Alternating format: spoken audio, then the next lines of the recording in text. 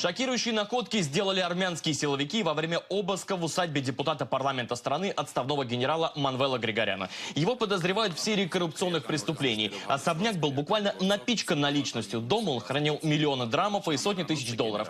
Также в генеральских закромах были найдены гранаты, патроны, тротиловые шашки, 79 винтовок, 39 пистолетов и другое оружие. Впечатляет солидный автопарк Григоряна из раритетных экземпляров, а также зоопарк с тиграми, ламами и медведями. Но больше всего проверяющих возмутили найденные в подвалах особняка Григоряна посылки с гуманитарной помощью. Судя по надписям, продовольствие и подарки солдатам собирали армянские школьники и различные коллективы. Груз предназначался военнослужащим во время апрельской активизации конфликта в Карабахе в 2016 году. В хранилищах были сотни ящиков и мешков с одеждой, лекарствами, бинтами, едой и средствами гигиены. Кроме того, в коробках валялись письма и рисунки школьников военнослужащим, которые так и не дошли до адресатов.